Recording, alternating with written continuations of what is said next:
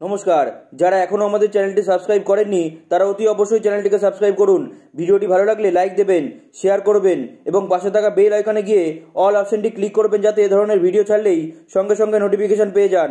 এই মুহূর্তের বড় খবর, সকালে গ্রেপ্তারের পর, সন্ধ্যায় অন্তর্বর্তী জামিনের পর, মাঝরাতে জামিন আটকে গেল রাজ্যের হেভিওয়েট চার নেতার। উল্লেখ্য সিবিআই এর নিম্ন আদালতের রায়ের ওপর চ্যালেঞ্জ করে হাইকোর্টে সিবিআই আবেদন করে রাতেই। রাতের বিশেষ আদালতে শুনানি চলে।